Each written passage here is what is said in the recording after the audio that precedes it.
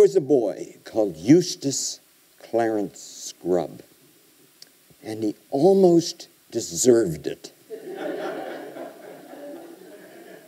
That's the opening ch- uh, sentence of C.S. Lewis's story, The Voyage of the Dawn Treader, and one of the best opening lines ever. Such opening lines make you want to read on. The rest of the book has got to be good. The Voyage of the Dawn Treader is the third book in a series of seven that came to be known as the Chronicles of Narnia. The opening lines of the previous two books were less memorable. If you've read all of the books, do you remember the first line of The Lion, the Witch, and the Wardrobe? Once there were four children whose names were Peter, Susan, Edmund, and Lucy. Not exactly an attention grabber, is it? Well, what about the second book? Do you remember the first sentence of Prince Caspian? There, once there were four children whose names were Peter, Susan, Edmund, and Lucy.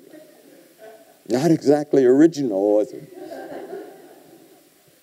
I'm going to suggest tonight that the first sentence of The Voyage of the Dawn Treader signals that in this book, Lewis was making a new beginning. His, he sets off in some new directions, experiments with some new possibilities and approaches. And that seems a bit surprising because when he started the book, he thought it would be his last book on Narnia. At least that's what he said in a letter to 11 year old Laurence Krieg in 1957, after the series was done. When I wrote The Lion, I did not know I was going to write anymore. Then I wrote P- Prince Caspian as a sequel and still didn't think there would be any more. And when I had done The Voyager, I, uh, Voyage, I thought quite sure it would be the last. The new directions he experimented with in The Voyage of the Dawn Treader may have had the welcome but unintended effect of making Lewis want to pursue those characteristics further and to write more books about Narnia. Before looking at these new directions, however, I must lay out one assumption. Talking about new directions in the Chronicles of Narnia makes sense only when the books are considered in order of publication or in the order in which they were written. That means starting with the book originally designated as number one, The Lion, the Witch, and the Wardrobe, but now labeled number two. I think the renumbering of the Chronicles, making The Magician's Nephew book one, was a big mistake. The only reason for putting The Magician's Nephew first is to have, a readers, to have readers encounter events in chronological order, the order in which things happen. And that, as every storyteller knows, is quite unimportant as a reason. The Lion, the Witch, and the Wardrobe was conceived in Lewis's imagination as an introduction to Narnia. It uses strategies appropriate for a first book. Those strategies lose their full effects if the book is not read first.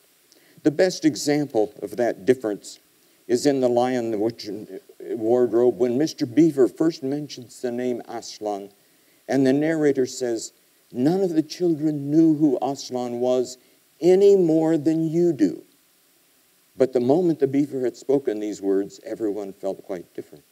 That carefully crafted sentence has a very different effect if you've read the, or if the reader has already read The Magician's Nephew. The first of Lewis's new directions is the use of humor.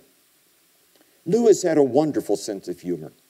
Richard Ladborough, a close friend when he and Lewis were colleagues at Cambridge, Cambridge University, remembered him as jovial, a man who delighted not only in hearing funny stories, but also in telling them. And in this, he was an expert. Lewis's stepson, Douglas Gresham, remarks on his enormous humor and the vibrancy of his wit. You couldn't be with Jack for more than five or ten minutes without roaring with laughter, he says. Humor is readily apparent in two of, earliest, uh, uh, of Lewis's earlier books, The Screwtape Letters and The Great Divorce. But there isn't much humor in The Lion, the Witch, and the Wardrobe or Prince Caspian. All of that changes with the opening sentence of The Voyage of the Dawn Treader. Lewis seems to be trying something different in this book, right from the start. And the humor continues throughout the book. It shows up in Eustace's confrontations with a sword wielding mouse, and it shows up in Eustace's diary entries, like his calling the Dawn Treader a rotten little thing. No proper saloon, no radio, no bathrooms, no deck chairs. I tried to tell Caspian what real ships are like, but he's too dense.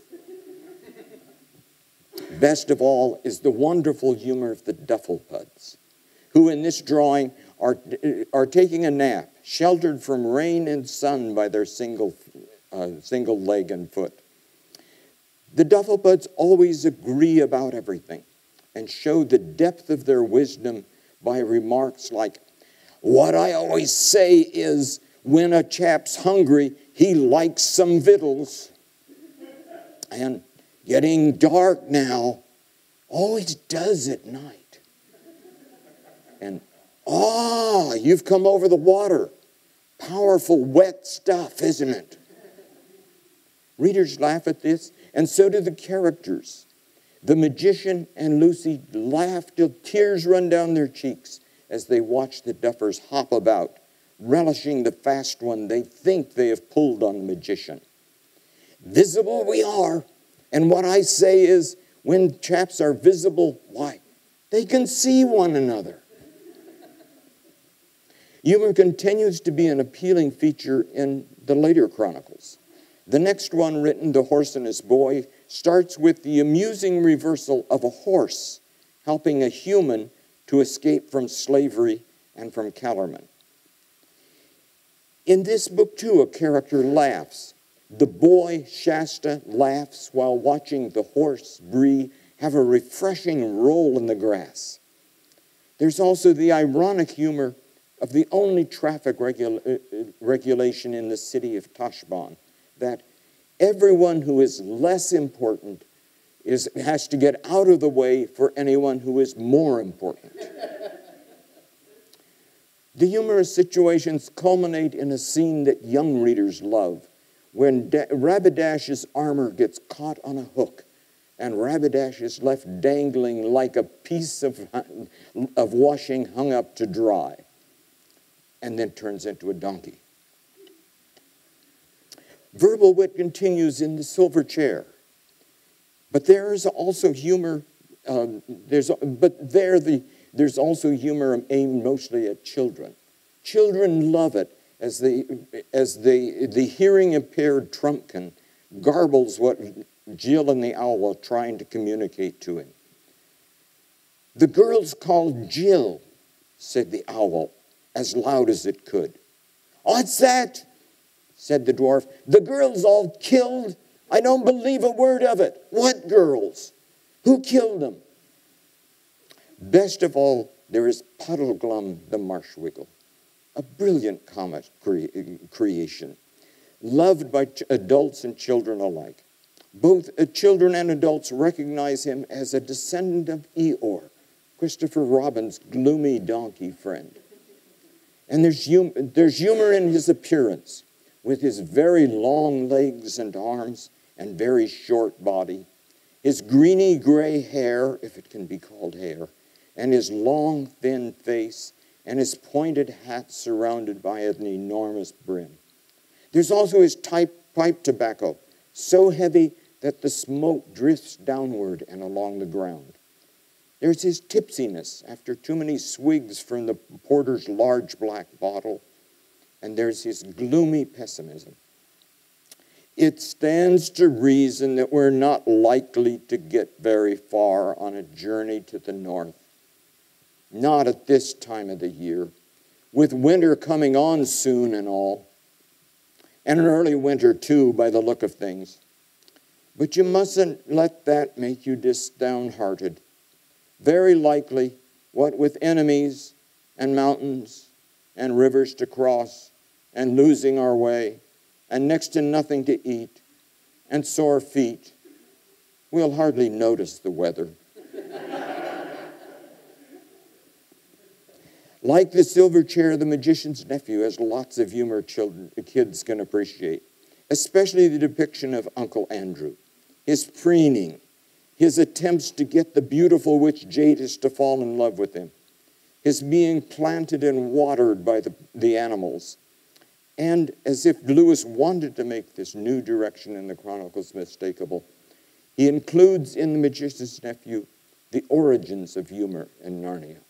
The jackdaw hopes to be remembered for making the first Narnian joke, but he's disappointed when Aslan replies, No, little friend, you have not made the first joke.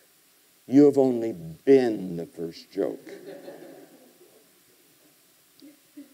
A second new direction appears as you read the rest of the Dawn Treader's opening paragraph.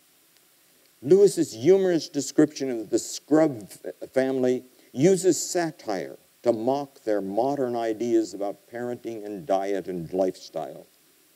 Eustace didn't call his father and mother father and mother, but Harold and Alberta. They were very up to date and advanced people. They were vegetarians, non smokers, and teetotalers, and wore a special kind of underclothes. In their house, there was very little furniture and very few clothes on the bed, and the windows were always open. There's no passage, passage quite like that in The Lion, the Witch, Wardrobe, uh, the Witch and the Wardrobe or Prince Caspian. No previous example of social satire. The specific target here of, is modernism. Eustace attends a modern, a modern school, one that has no physical punishment and seems to encourage grade grubbing. It has a modern headmistress who treats bullies as interesting psychological cases and talks to them for hours. We learn in the silver chair that the school is coeducational and is named Experiment House. Edmund's school in The Lion, the Witch, and the Wardrobe was bad, but it wasn't modern. The same for the schools at the end of Prince Caspian bad, but not modern. Eustace keeps boasting about modern liners and motorboats and airplanes and submarines. He reads modern books. They have a lot to say about exports and imports and governments and drains, but they are weak on dragons. And that turns out to be, a, uh, be significant to Eustace later on. Lewis calls attention to something that was qu- quietly in the background of the first two books the fact that Narnia is a pre modern world. It is medieval with knights and swords and castles and damsels in distress. It is a pastoral paradise, unspoiled by the side effects of urbanization and industrialization. It has no cities, no factories, no pollution, and no poverty. Though it takes for granted many familiar, useful things which require labor, manufacture, and trade, such as Mrs. Beaver's sewing machine. Where, where was it made? Where did she buy it?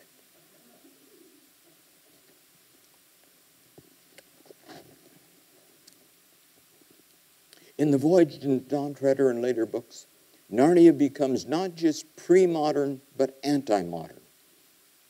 Lewis took pride in his anti modernism. In 1944, he received a letter from Walnut Creek, California, offering him membership in the Society for the Prevention of Progress. to which he replied, While feeling that I was born a member of your society, I am nevertheless honored to receive the outward seal of membership.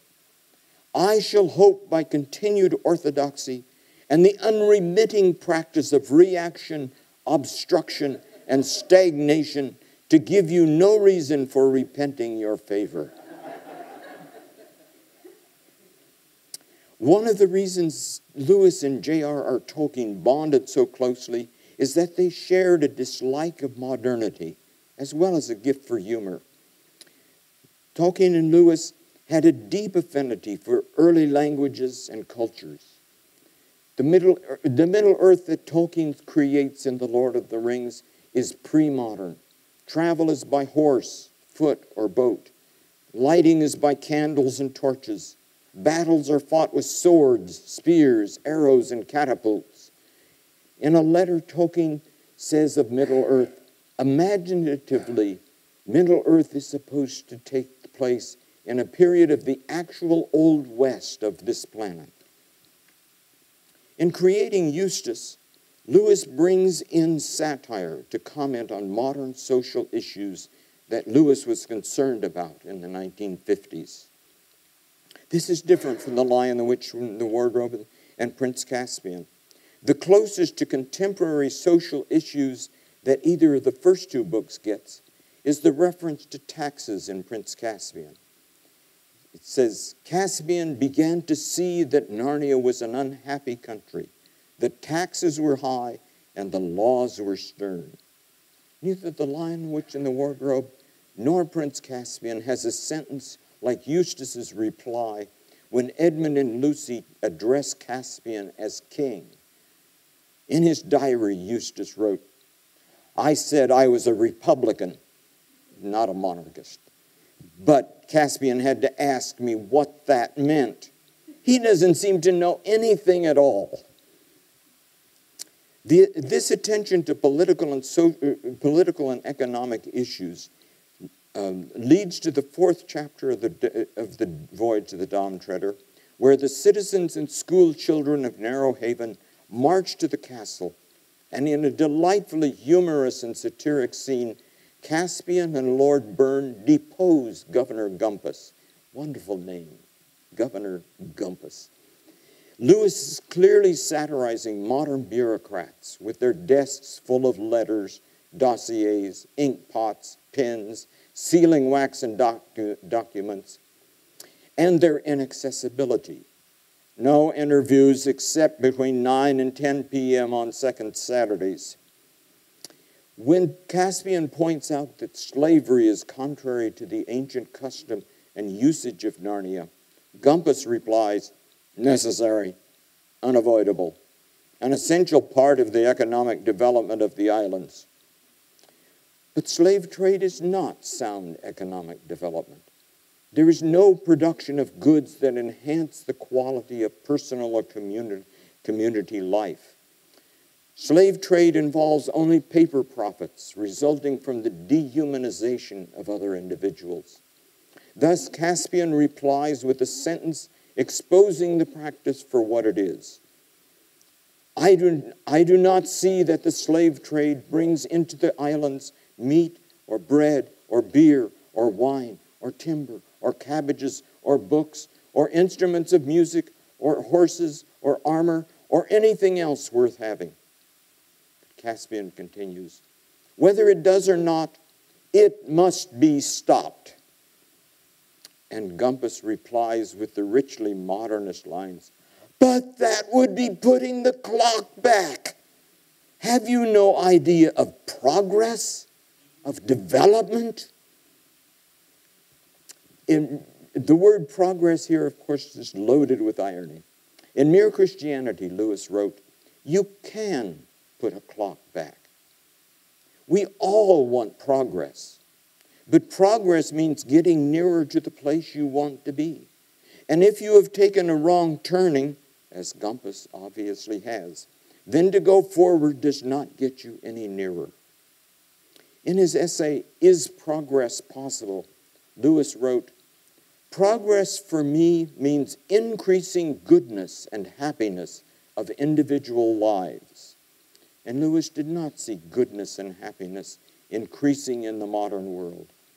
He sums up the theme through a contrast between Lord Bern's estates on the one hand, which he describes as a happy and prosperous fief, and on the other hand, Governor Gumpus's preoccupation with accounts and forms and rules and regulations. Such allusions to contemporary social issues appear in each of the later books. In The Horse and His Boy, there is the unappealing description of the large modern, modern Calormene city, Tashbaan. What you would chiefly notice if you had been there was the smells, which came from unwashed dogs, scent, garlic, onions, and the piles of refuse which lay everywhere. Lewis was not fond of London, and it's notable that there, were no, there are no cities in Narnia. In the Silver Chair, in addition to the satire on modern education, there's the delightful satire on modern bureaucrats generally. After the inquiry into Experiment House, friends of the modern headmistress saw that she was no use as a head. So they made her an inspector to interfere with other heads. And when they found out she wasn't much good even at that, they got her into Parliament, where she lived happily ever after. and in The Magician's Nephew, there is the moving passage about modern warfare and nuclear weapons. We're not as bad as Charn was, are we? Polly asks. And Aslan replies, Not yet, daughter of Eve, not yet. But you are growing more like it. It is not certain that some wicked one of your race will not find out a secret as evil as the deplorable word and use it to destroy all living things. Let your world beware. That is the warning. The most trenchant example of satire on contemporary issues comes through Shift, the ape in the last battle. Many critics view the ape as part of a religious allegory on the end times, with, po- with possible allusions to Antichrist and Armageddon. But a good case can be made for noticing similarities between Shift and Napoleon, the pig in, in George Orwell's Animal Farm, a work that Lewis admired greatly. In Shift Narnia, as on Animal Farm, all animals are equal, but some animals are more equal than others. The policies of the new regime in Narnia resemble those on Animal Farm. Everyone who can work is forced to work, pulling, carrying, digging, the way animals do in other countries. Shift assures the other, other animals that this is not slavery. They will be paid.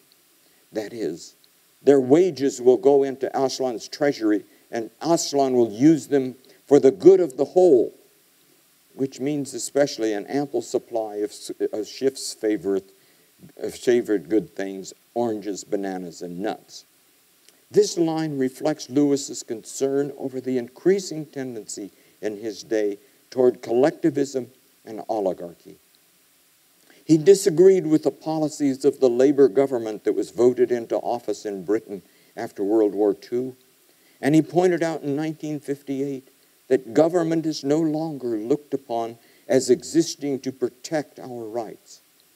Modern governments aim to do us good or make us good. Anyway, to do something to us or make, some, make us something.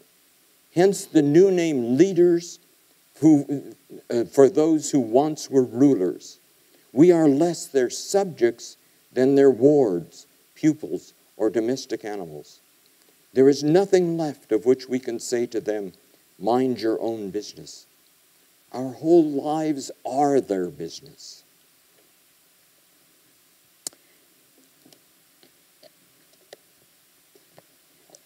There is one more new direction I, that I want to that I want to discuss Lewis's handling of myth. This one is different from the first three in that it is not the addition of something that wasn't there before. Rather, this one involves improvement in what Lewis wanted all along. He wanted to write fairy stories that rise to the level of being myth.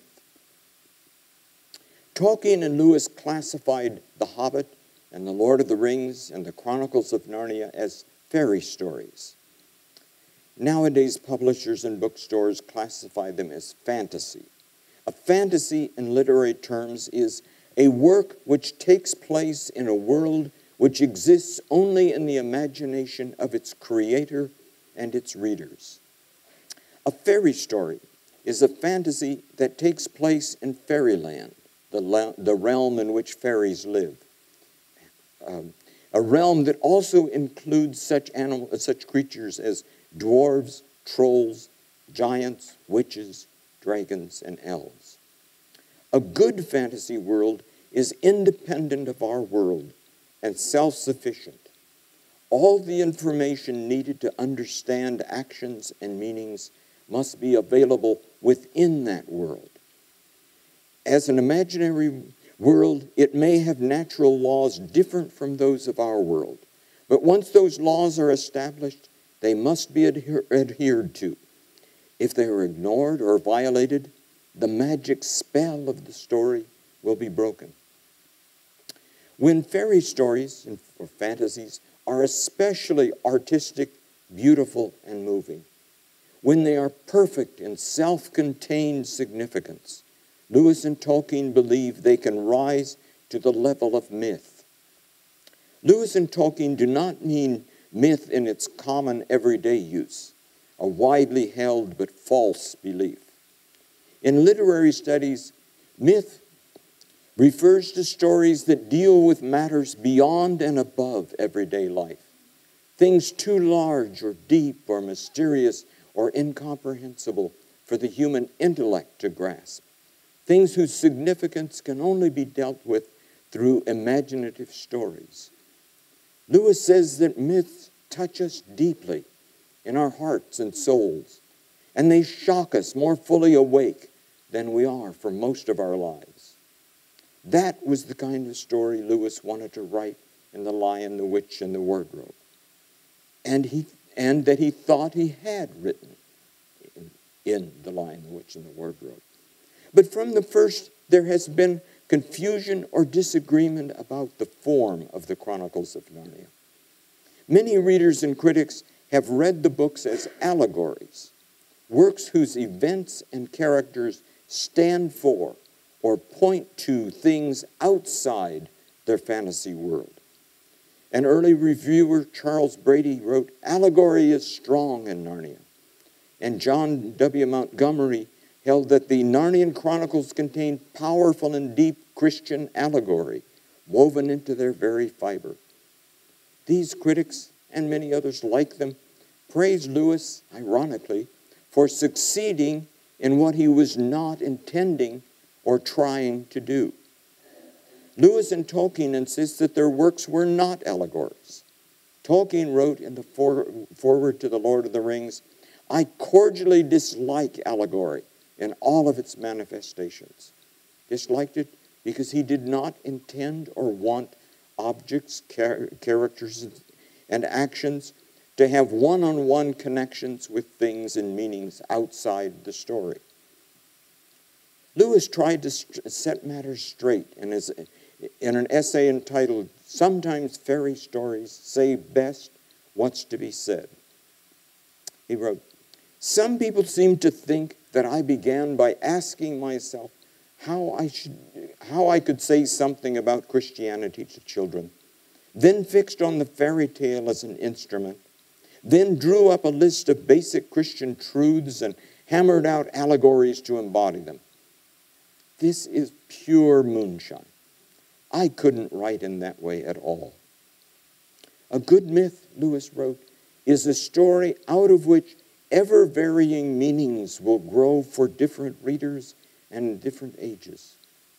Such, a, such myth is, high, is a higher thing than allegory, into which one meaning has been put. Into allegory, authors can put only what they already know. In a myth, they put what they do not yet know and could not come to know in any other way than writing myth.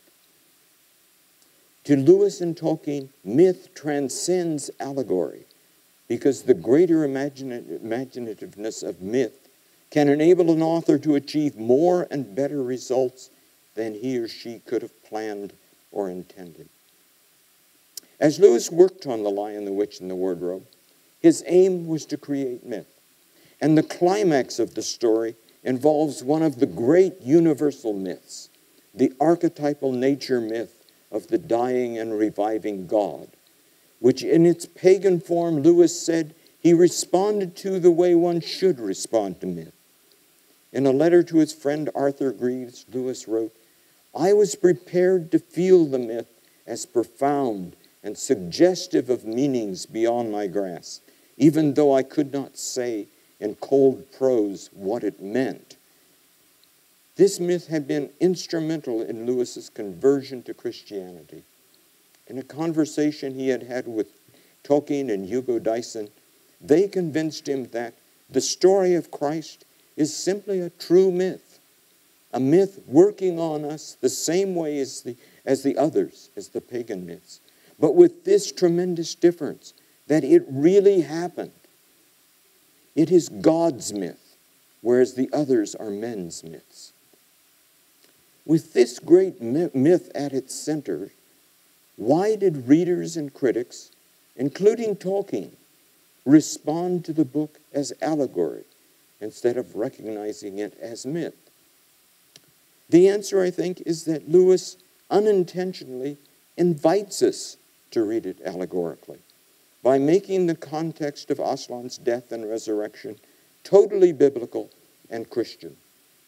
Lewis didn't show the universality of the nature myth by including allusions to or details from the ancient Greek myths or the Germanic myths that he loved. All of the details allude to the Bible, which makes it seem like Lewis wants readers to look for allegorical type parallels between Aslan and Jesus. If you've read the book, you've prob- you're probably familiar with examples. As Aslan is being mocked, tortured, and killed on the stone table, the story describes a crowd of creatures kicking him, hitting him, spitting on him, jeering at him. The similarity to Mark 14 is, seems unmistakable. Some began to spit on Jesus and to strike him. Likewise, when Aslan made no resistance at all to the way they were treating him, it sounds very much like Isaiah 53. He was oppressed and afflicted, yet he opened not his mouth. Even the stone table itself, with the moral law engraved on it, resembles the tablets of stone that Moses brought down from Mount Sinai, with the Ten Commandments written on them by the Lord. Beyond such elusive details, Lewis builds into The Lion, the Witch, and the Wardrobe the same structure that he used in books two and uh, uh, books one and two of Mere Christianity. Lewis repeatedly pointed out a, a problem that evangelists face in modern times. A, because a sense of sin is almost totally lacking in the modern world. People do not recognize their need for forgiveness until they learn about the law and acknowledge their failure to obey the law. That describes Edmund's situation very well. Lewis sums it up this way in Mere Christianity It is after you have realized that there is a real moral law and a power behind the law, and that you have broken that law and put yourself wrong with that power. It is after all this, and not a moment sooner, that Christianity begins to talk. Although the form and content of the account of Aslan's death and resurrection in The Lion, the Witch, and the Wardrobe are mythical, Lewis's approach as he tells the story seems, seems allegorical. The death of Aslan and his resurrection is a powerful scene which has a deeply emotional effect and imaginative appeal. In one sense, whether it is allegory or myth doesn't really matter. What matters is that it works. No one would wish to have it, no one would wish to, uh, uh to have been, that it would have been handled differently than it was. So, allegory or myth, does it matter? Well, I think it mattered to Lewis because if it's allegory, to him it is a lesser achievement than if it's myth. Tolkien in On Fairy Stories argues that fantasy is more difficult to write than realistic fiction because the fantasy writer has to create a world, not just copy a world, the world that we live in. Thus, fantasy to, to Tolkien is a higher form of art, capital A. Indeed, the most nearly pure form, and when achieved, the most potent or powerful.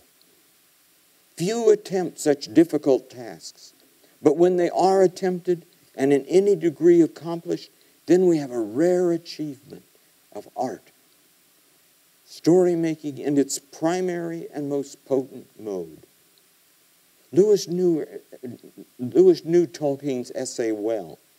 He edited it for the, for the book in which it was published in 1947. It seems possible that one effect of editing the essay was to whet his appetite for attempting again that difficult task, that most purely, nearly pure form of art.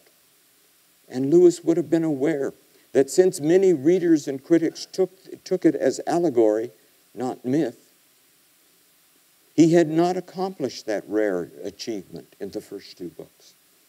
Perhaps that prodded him to try one more time, to try a different approach, and try to succeed in making his third book less allegorical and more mythical. Mythical characteristics are more readily apparent in The Voyage of the Dawn Treader, both in the book as a whole and in key episodes in the book. Lewis draws on a range of myth lore and folklore, Christian and non Christian. The story as a whole is a series of literal and figurative adventures which explore simultaneously the unknown eastern seas and a range of social, moral, and religious concerns. Running through the episodic adventures, unifying them, and creating a numinous aura is the theme of voyaging. The voyage imagery gives the story the literal flavor of the sea. They tasted the salt on their lips, and the figurative flavor of mystery and excitement that large bodies of water always engender. The nature of the story, the quality of the reader's response to it, would be very different if it were a journey by land or only a figurative journey. Through form, plot, setting, images, and symbols, Lewis enables readers to engage imaginatively, not seek intellectual meaning. The story of Eustace is a reworking of the story of Edmund. Both boys need to receive and accept a new kind of life. But Eustace's story uses the language and techniques of imagination and myth instead of the language of allegory with its need for interpretation. From the first, Eustace is disagreeable. Down deep inside, he liked bossing and bullying. And self centered. Lucy gives me a little of her water ration. She says girls don't get as thirsty as boys. I had often thought this. But it ought to be, but it ought to be more generally known at sea. Through his selfishness, laziness, and greed, Eustace, in a wonderfully detailed and realistic scene, discovered, discovers he has turned into a dragon. He spends several days in that state and begins to realize that all along he has been pretty beastly and has behaved like a monster. Eustace, like Edmund, needs to go back and start over. Eustace began to wonder if he himself had been such a nice person as he thought as he had always supposed. When he thought of this, the poor dragon that had been Eustace lifted up his voice and wept. A powerful dragon crying its eyes out under the moon in a deserted valley is a sight and a sound hardly to be imagined. Lewis doesn't use the word repentance, but he doesn't need to. The scene and the images he creates convey the meaning clearly. No interpretation is needed. Aslan appears, but it is mysteriously. Eustace doesn't know if the lion is real or a dream, and doesn't know if the lion actually speaks to him, though he is certain that the lion somehow tells him to follow, and he knows that he is full of fear and full of awe. The lion leads him to a pool in a garden on a mountain. The water in the pool, Eustace later tells Edmund, was as clear as anything. And I thought if I could get in there and bathe, it would ease the pain in my leg. But the lion told me I must undress first. Three times Eustace peels off his dragon skin, and three times it grows right back. Then the lion said, But I don't know if it spoke. You will have to let me undress you. I was afraid of his claws, I can tell you, but I was pretty near desperate now. So I just lay flat down on my back to let him do it. The very first tear he made was so deep that I thought it had gone right into my heart.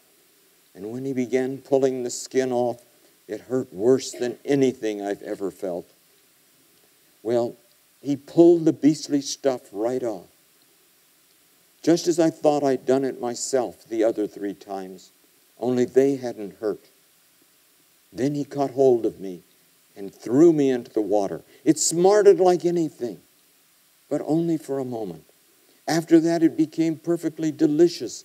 And as soon as I started swimming and splashing, I found that all the pain had gone from my arm. And then I saw why.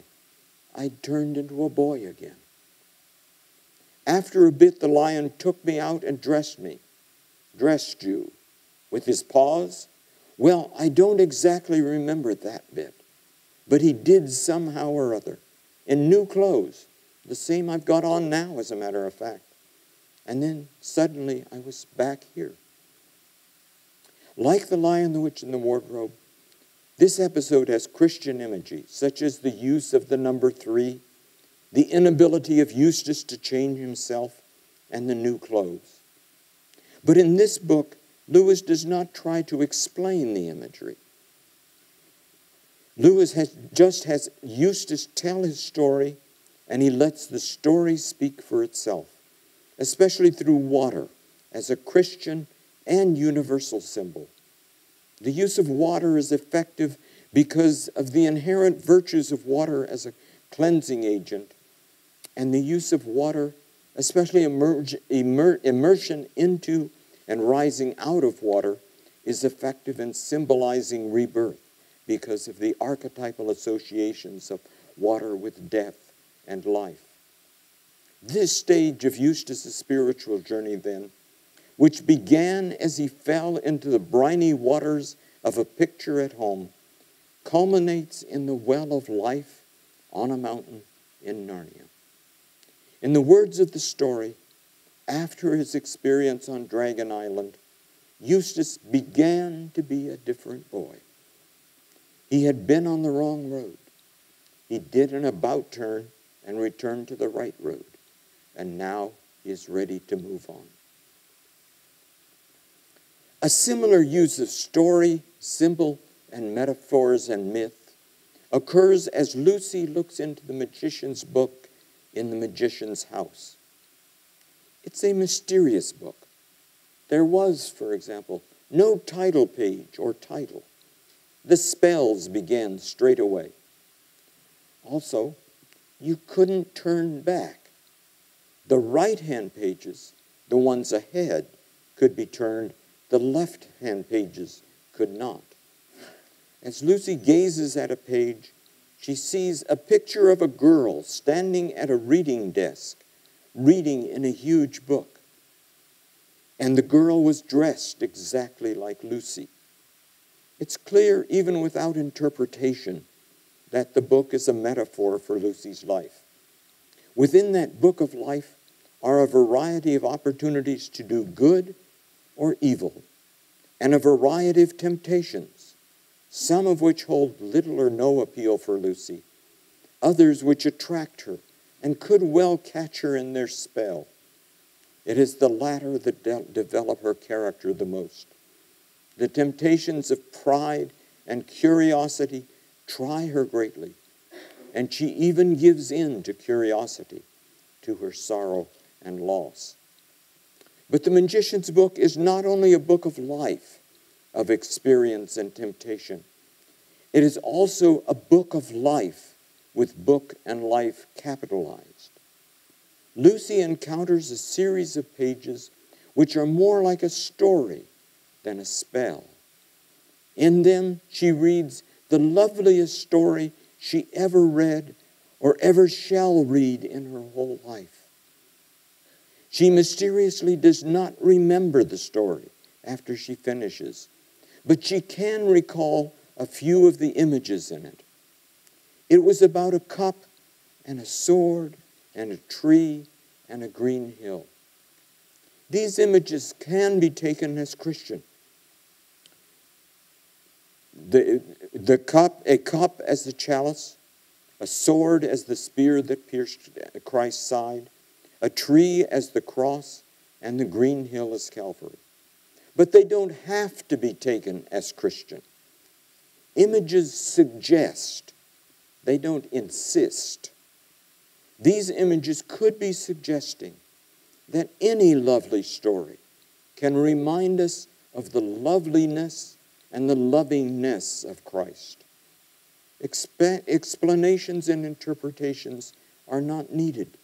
Experiencing the myth is what we're invited to do. And Lewis does a lovely thing here with myths.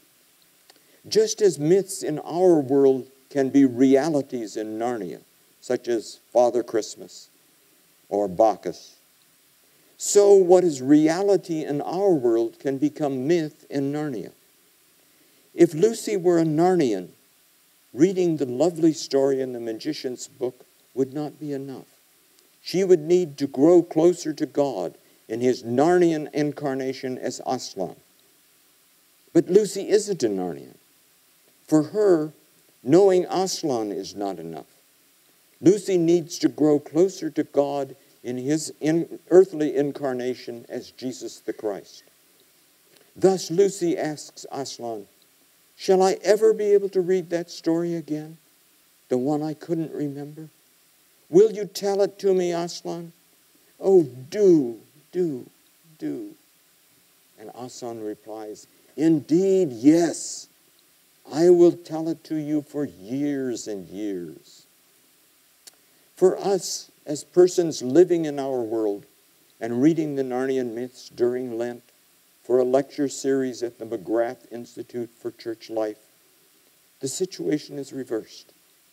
The Narnian myth about Aslan's love and sacrifice can be a means of drawing us nearer to the divine realities in our world. But that would not be enough by itself. That is made clear by a wonderful mythic passage at the end of the voyage, when Edmund, Lucy, and Eustace arrive at the end of the world and wade to the shore. In a scene which rises to the level of high myth, the children see a lamb cooking fish on the seashore. Please, lamb, said Lucy, is this the way to Aslan's country?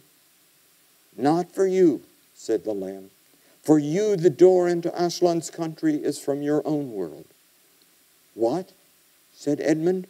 Is there a way into Aslan's country from our world too?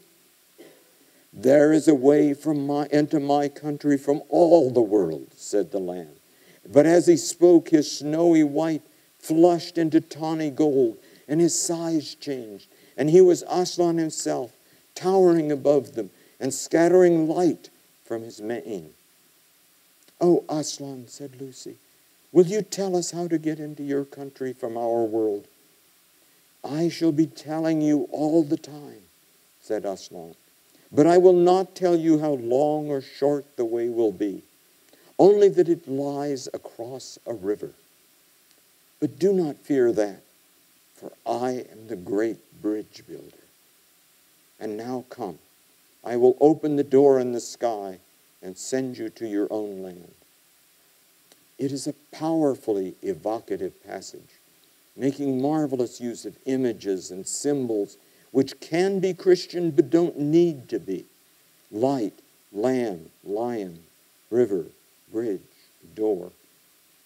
Even the biblical allusion to John 21, which underlies the whole scene, is not presented as applying only to Christianity. It is myth, not allegory. Readers are not asked to impose one on one intellectual applications of details in the passage. All its components unite to let the passage appeal directly to the emotions and the imagination. As Lewis says, great myth always does. For children and adults reading the Narnian stories in our world, this episode and the other Narnian myths can be a useful part of their life journey. But progress towards spiritual maturity requires more, as Aslan explains to Lucy and to Edmund. Lucy asks, Before we go, will you tell us when we can come back to Narnia again? Please? And oh, do, do, do make it soon. Dearest, said Aslan very gently, you and your brother will never come back to Narnia. Oh, Aslan, said Edmund and Lucy both together in despairing voices. You are too old, children, said Aslan, and you must come close to your own world now. It isn't Narnia, you know, sobbed Lucy. It's you. We shan't meet you there. And how can we live never meeting you? But you shall meet me, dear one, said Aslan. Are, are you there too, sir? said Edmund. I am, said Aslan. But there I have another name. You must learn to know me by that name. This was the very reason why you were brought to Narnia, that by knowing me here for a little, you may know me better there. That last sentence explains Lewis's hopes and intentions for the whole series. By getting to know Aslan through reading myths about him in the Chronicles of Narnia, the book's readers learn to know Christ better as a reality in our world. Perhaps Lewis knew from the start how he wanted its chronicles to work, but some evidence suggests that it came to him later. He wrote in a 1956 essay that when he started the series, he did not set out to write Christian books. Everything began with images a faun carrying an umbrella, a queen on a sledge, a magnificent lion. At first, there wasn't any, even anything Christian about them. As he worked with the images, the qualities inherent in the images asserted themselves. The Christian element, he says, pushed itself in of its own accord. This was the very reason why you were brought to Narnia, that by knowing me here for a little, you may know me better there.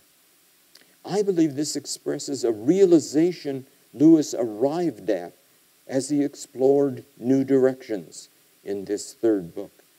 A realization that enabled him to write four more books, each containing at least one powerfully mythic episode or passage.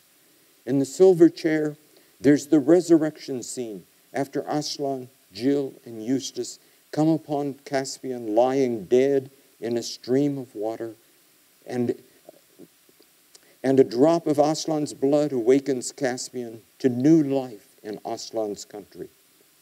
In The Horse and His Boy, there is the most numinous scene in the Chronicles, in which a large, unseen creature walks through the night alongside, alongside Shasta the boy and answers Shasta's question, Who are you?